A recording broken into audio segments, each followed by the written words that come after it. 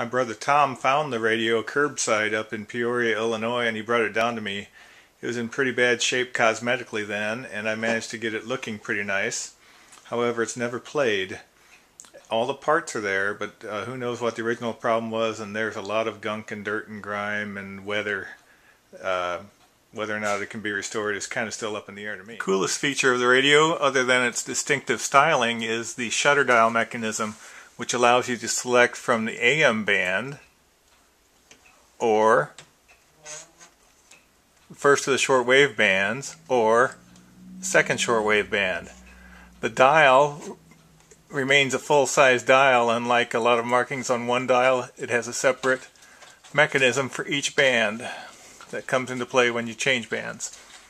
It does have a tuning eye tube and uh, supposed to sound very nice when it's working properly from its 15 inch speaker. One other thing, the markings on this AM dial, uh, I did that on a computer about eight years ago because the dial was completely completely gone. So I created a replica dial and it turned out pretty good by the time I covered it with lacquer and some other things to make it last. Um, the big pointer is not the selector, that's like the fine tuning knob. The little pointer here is actually the station indicator. So you get one full spin of the knob when the uh, when it's working properly uh, for a small movement of the main dial.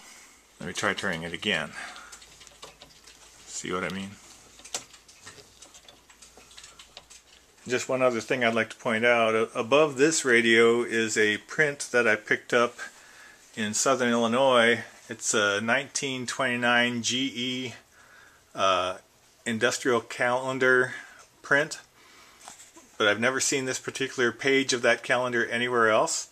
And it is a uh, cool picture of a couple listening to a lowboy console radio in about 1929.